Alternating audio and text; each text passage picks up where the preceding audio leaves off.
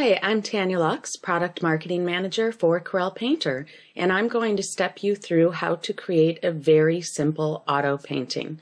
To begin, you grab your image, we go to the window menu and select our auto painting panels. The very first step is underpainting, and we can modify the appearance of the image we're working with by selecting color schemes, doing things like increasing contrast, and then I apply that. And next I'm going to saturate my colors to make them pop and apply that. And now we click Auto Clone. It creates a new file. It's cleared the image off of the file and we can use something called tracing paper to see that original image. You click Command or Control T to turn this tracing paper on and off. And now we're going to auto paint using the intelligence built into Painter.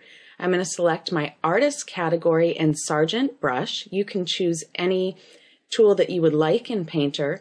I just need to make sure that I've got cloning turned on. When the color wheel is grayed out, it's turned on.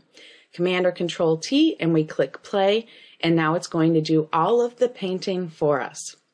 All we've done is to edit the original image to make those colors and contrast pop. And when this is finished, It'll quit splashing the paint out on the canvas. Now we're going to restore. Clicking restoration is going to allow me to pull back some of the original photo. So we'll zoom in so we can see where we want to work here. And I can toggle the tracing paper on so I can see the original image or leave it off.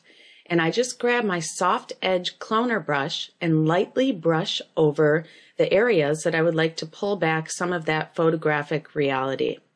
And this is really the final step in a very simple auto painting in Corel Painter 12. We can now take this, save it out as an image file, and place it in a layout.